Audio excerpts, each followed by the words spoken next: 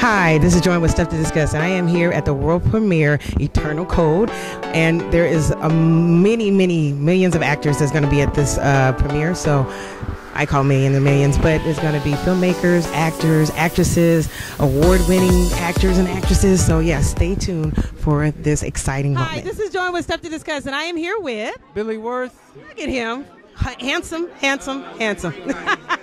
All right, so we're, I am from St. Louis, Missouri. Actually, yes, yes.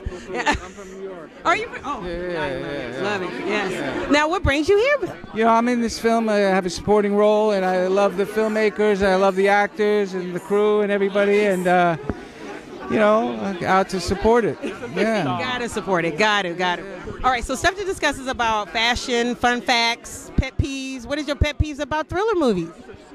My pet peeve about thriller movies uh, Today. Today, Yeah. I Put you on don't the know. Ah, you put me on a spot. Pet peeves about thriller movies. I don't know. You don't know? That's okay. You don't have to have a pet peeve. You got pet, pet peeve? My pet peeve is that I don't want them to scare me much. You don't want them to scare. yeah, it's just too scary. I don't like the super scary ones I have to watch a cartoon to you know clear my mind or something. They're good, but they- but but, but if they're scary, you know, and gory and But I like to be on my edge. yeah, yeah, yeah, yeah, yeah, yeah, that's good. That is, that is.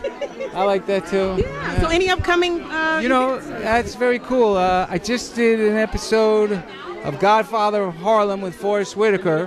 Did you really? The show is premiering in September, end of September. I'm in the second episode, and I got to act with him. I did four scenes with him, and then one with Vincent D'Onofrio, and my, my my good friend Chris Brancato wrote and produced it. And you know, it's just an honor to be part of such a high caliber show.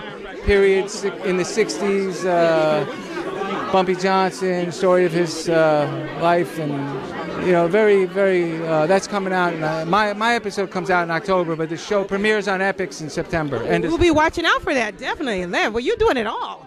Yes. Well, thank you for this interview. I appreciate it. Bye bye.